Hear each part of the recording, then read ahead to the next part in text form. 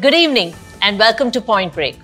I'm Vandana Nair, bringing you the latest and most critical updates from the world of AI and tech.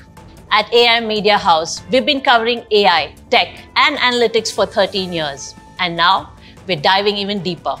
Point Break is where AI and tech hit their defining moment. We cut through the noise, break down big trends, and uncover disruptions. Fast, fearless, and straight to the point.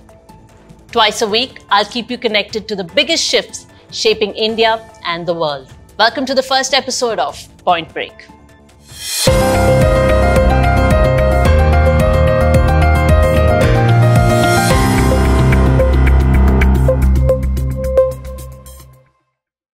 India's foundational model debate sparked quite a buzz a few months ago with leaders, developers, and founders rallying behind the idea of building our own DeepSeek like model. But not everyone agreed.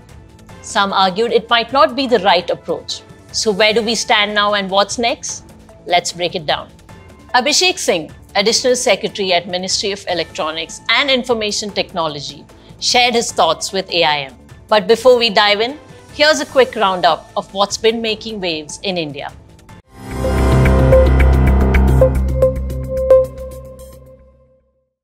Amitabh Nag, the CEO of the Digital India Bhashini division under MeitY, Ministry of Electronics and Information Technology, has recently been entrusted with an additional role as director of the India Dataset Platform, AI Kosha, and the Application Development Initiative at India AI. This move aligns with the broader goals of Bhashini, which aims to bridge language barriers through technology. By overseeing AI Kosha, Nag will play a pivotal role in expanding India's AI capabilities by providing access to critical data sets and fostering innovation in key sectors. AI Kosha is a national dataset platform launched by MeitY under the India AI mission, serving as a unified repository for non-personal datasets, tools, and AI models. It aims to accelerate AI innovation in India by providing access to over 300 datasets and 80 plus models with a focus on developing India-specific AI models, particularly in language translation tools for Indian languages. With data being the crux for any AI model, access to India-specific updated data becomes critical for building indigenous models. The government has in fact invited private firms, including startups, to contribute anonymous, non-personal user datasets to the AI Kosh platform. Tech giants such as Google can also share anonymized usage data without revealing user identities. SaaS or service as a software industry is definitely not dead, as opposed to some of the highly polarized conversation of how SaaS industry will wipe out with AI developments. However, the need to evolve with AI is only going to transform the industry, which is expected to hit $100 billion by 2035 at the recent SaaS Boomi, which is a community for SaaS founders annual 2025 meet in Chennai, Indian SaaS giant Freshworks founder and chairman Girish Mathrubootham said that if you're not adopting AI, throw away your roadmap. The SaaS Boomi event couldn't have embraced AI in a bigger way than renaming their community to Boomi AI. The renaming is only an indication of the integration of SaaS and AI to build the industry with a number of SaaS startups choosing to use AI in their businesses. Freshworks recently discussed their roadmap of achieving $1 billion revenue by 2026. In a recent conversation with AIM, Shelton Rigaud, Vice President and Managing Director at Freshworks, explained the extensive usage of AI and referred AI to be a very strong tailwind for the company. In his recent visit to India, co founder and former CEO of Microsoft, Bill Gates, met dignitaries from the Indian government, including Prime Minister Narendra Modi and Union Minister of Information and Broadcasting Ashwini Vaishnaw. Bill and Melinda Gates Foundation is joining forces with the India AI mission to develop AI driven solutions for critical sectors, including agriculture, healthcare, education, and climate resilience. An MOU will soon be signed.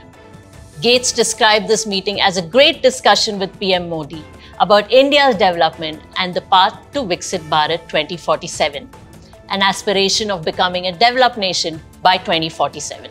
So, are building foundation models one of the key routes to get there? Let's find out.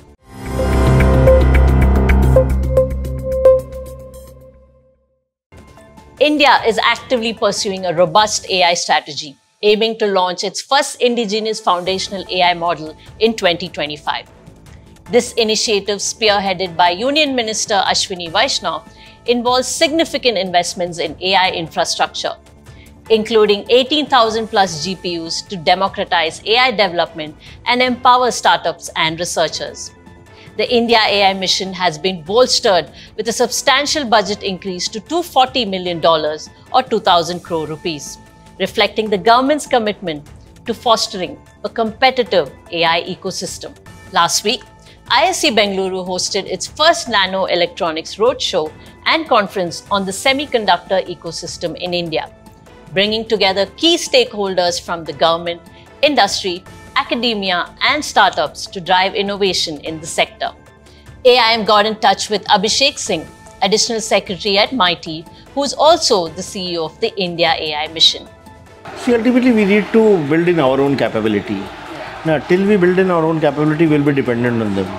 So, the endeavor is to provide all necessary support that is required to build up an Indian foundation model. And once we have state of the art mature models then only we can kind of say that yes we are moving away from the western models.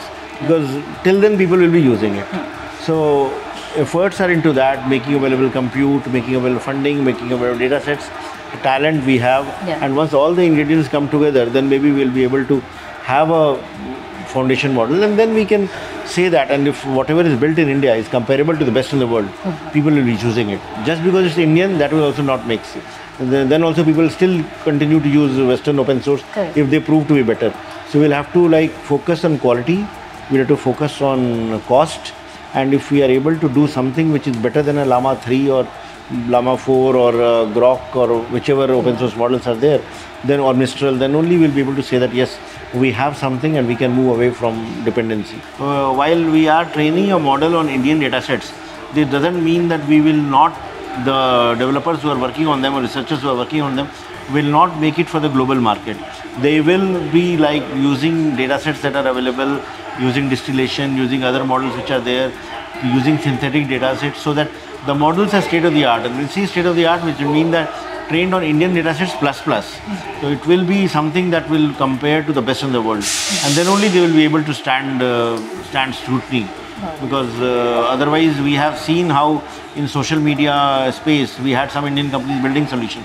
But if you don't make it something which can compete with the best, you don't survive. So the same will apply over here also. Ultimately, you see, GPUs uh, currently are uh, the GPU is with only a few companies. Now, Nvidia has got 80 to 90 percent market share. Then is AMD. There are other companies which are coming up. Google is coming up with their TPUs. Meta is working on it. Amazon is working on it. Intel is trying to revive with their new leadership. So GPUs currently, we, uh, dependency will remain on the West. India is working on GPU design, but for the design to be finalized and then it to go into actual manufacturing and deployment, we are at least a few years from that. We are expecting the first chips from Micron will be coming out by this year end. Tata Electronics will be producing their first chips by next year. But that is again 28 nanometer. Mm-hmm. But we should also understand that they are the most widely used chips. Mm-hmm. The 2 to 3 nanometers are state of the art and very cutting edge technology. Mm-hmm. One aspires to be there, but that's there's a very small portion of usage at the present. So given the investments that India is making in design link incentive scheme, PLI scheme, ISM 2.0, we will ultimately get there. But it will take some time. It will not happen overnight. As mentioned earlier, AI Kosha, a national dataset platform, is part of this effort, providing access to datasets and AI tools to accelerate innovation.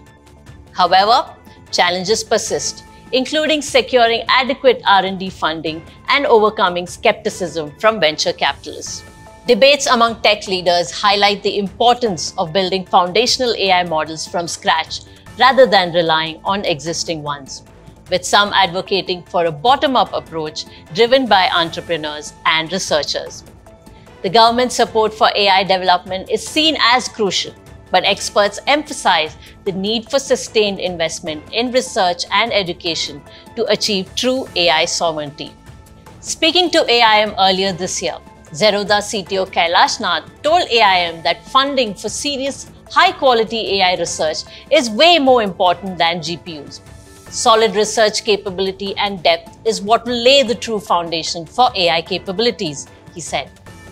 In his blog post, he further shared that India's AI sovereignty and future depends not on a narrow focus on LLMs or GPUs, but on building a foundational ecosystem that encourages breakthroughs through a blend of scientific, social, and engineering expertise across academia, industry, and civil society.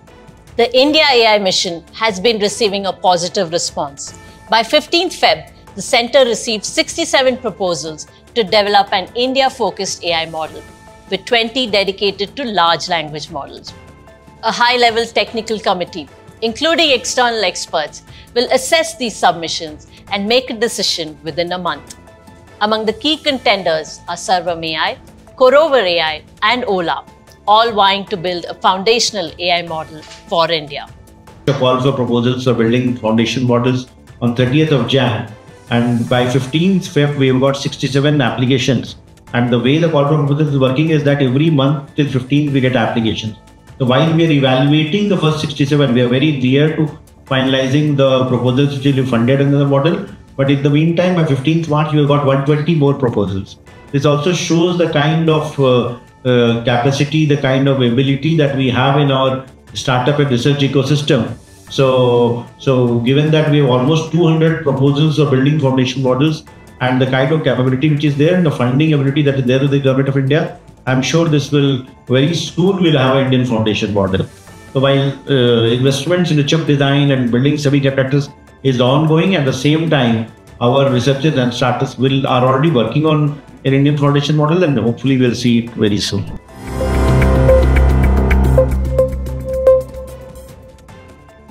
With foundation models being one of the seven key pillars of the India AI mission, training AI on India's own data, languages, and contexts becomes critical. As open source models may not remain open forever, the need of the hour is an Indian AI model.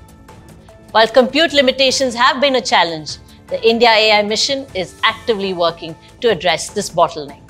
That's all for the first episode of Point Break. I'll be back on Friday with more global insights. Take care and have a great night. And please don't forget think AI, think AIM.